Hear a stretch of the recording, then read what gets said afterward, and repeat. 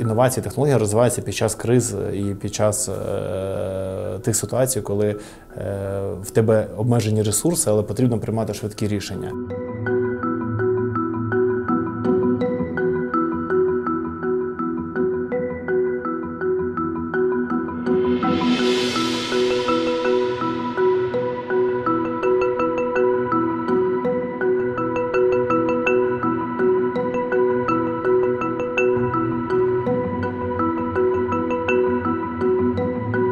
Для нас зараз дуже важливо, щоб всі українці мали доступ до онлайн послуг, тому що, наприклад, е, якщо там термінова евакуація, то документи завжди з тобою. Вони зберігаються, навіть якщо щось може статися з фізичними документами.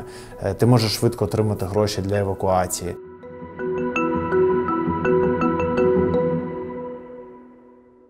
Тому е, швидка реакція держави на проблеми, яких набагато більше під час таких криз, як у нас сьогоднішня, сьогоднішня війна в Україні, е, це важливий виклик, і цифрова держава дозволяє вирішити ці проблеми.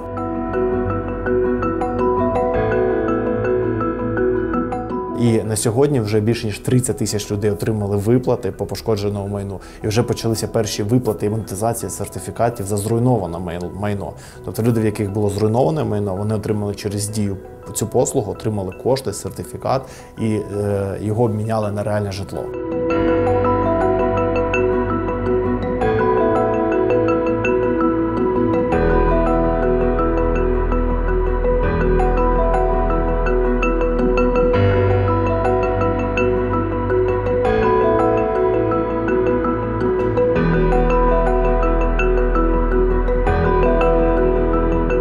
Зараз ми бачимо, як багато інших країн починають впроваджувати подібні продукти. І е, ми стали трансетерами в напрямку цифрової трансформації. І цифровий паспорт він дозволив відразу десяткам мільйонів українців е, розповісти про цифрову трансформацію і долучитися до неї, отримати цей документ, тому що це найбільш поширений документ в нашій країні.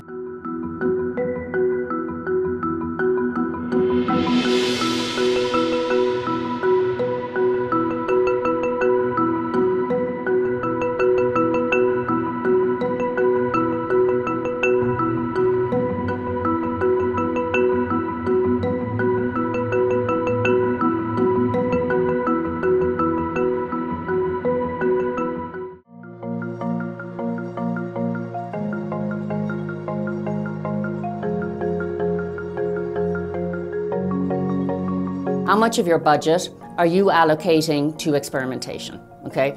And, and really, you need to be allocating about 10% of your budget to that. Now, that seems like a lot, but there's always money in everybody's budget that's being spent on kind of what I would call sedimentation, you know, down at the bottom.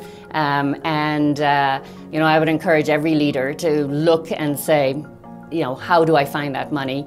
Uh, because if you don't find that money and use it to do things that may be a little bit of a moonshot or a little bit of, you know, a crazy idea, then you're not allowing your team to think outside the box enough and you're going to miss an opportunity.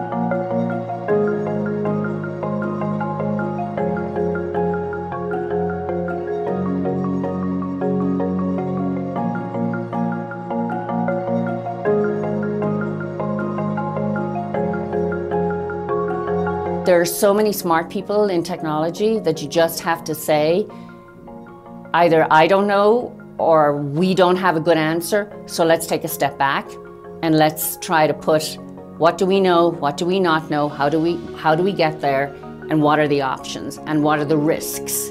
You know, it's all about risk management, and um, and then if we and then if we decide we can't get there, then we have to kind of admit that and not continue to go down the rabbit hole.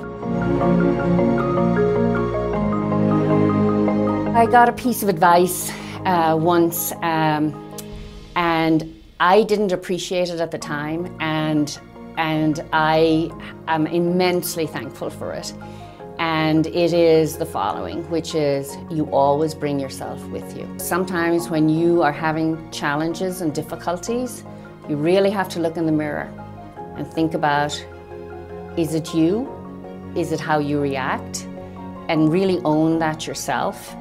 Um, and because it really does, it kind of clarifies things for you.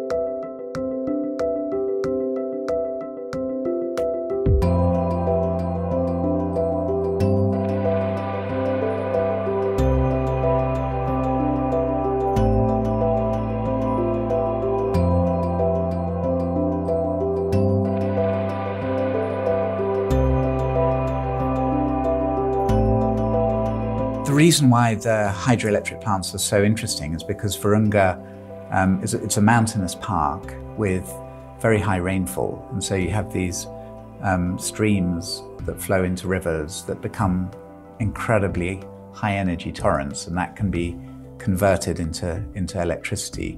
Um, and the thing about electricity is it's not just about light bulbs; um, it's actually about life itself for many people.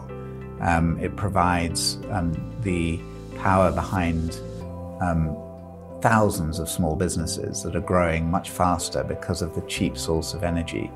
Um, and what we found is that with every megawatt of electricity, and the park can generate over 100 megawatts, that's 34 times what was being produced in terms of electricity before the park started supplying it. Um, every one of those megawatts will create between 800 and 1,000 jobs.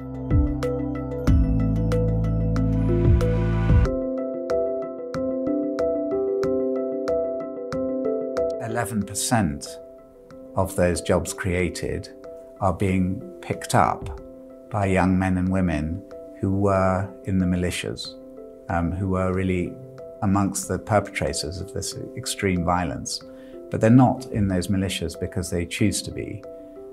This is an area where there's 70% unemployment. They're there out of desperation, and if you can provide them with an alternative, they'll take it immediately. And so it becomes an incredible tool, not just for saving the park, not just for rebuilding the economy, but also for bringing um, a level of peace to, to the region, to contribute to the peace effort in, in Eastern Congo.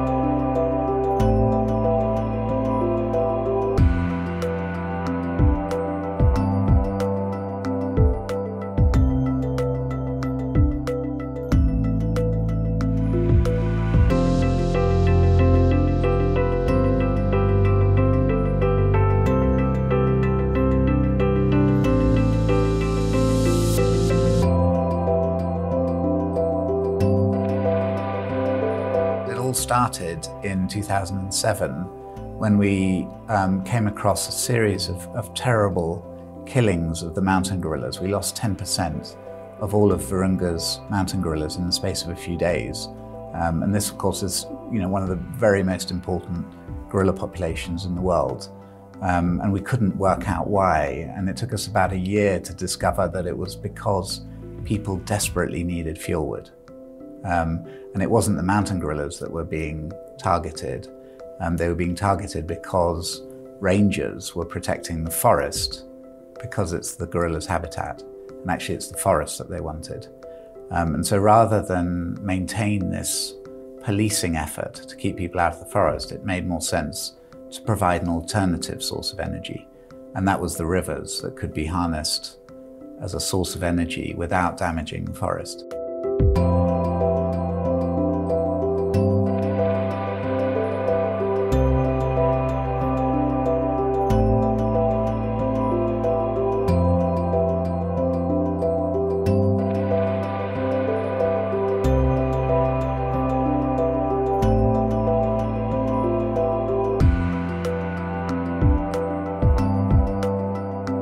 Been an amazing instrument for, for peace. And so through that, the park itself has, um, you know, has, has um, taken a, a, um, a, really positive direction in terms of the wildlife numbers started to come back. Um, the elephant numbers have gone from 80 in, in, in about 15 years ago um, to over 700 now. The mountain gorilla population has more than doubled.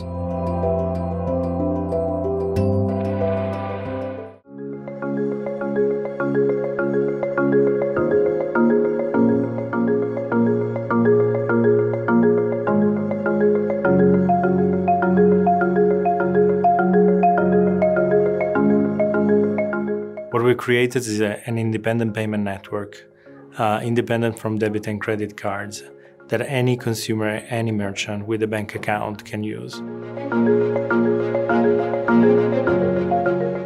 We couldn't pay for everything we wanted with cards because many merchants, especially small medium merchants, uh, were and often are not happy to, to accept cards for small payments.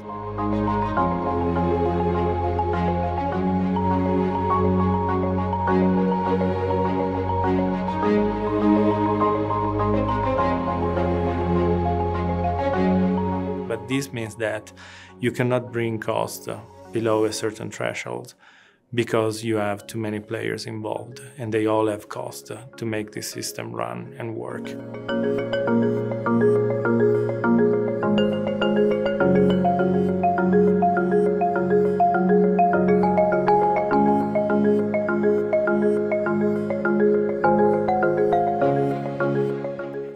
It revolutionized payment in Italy because suddenly merchants uh, that were only saying no card below 10 euros started saying, but I accept Satispay.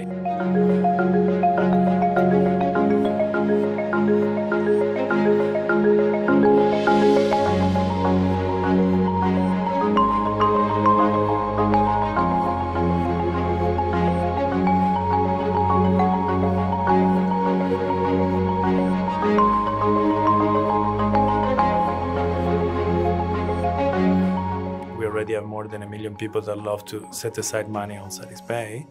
Uh, every time they pay, they put some money aside, is to be the instrument that helps millions of young people to start investing.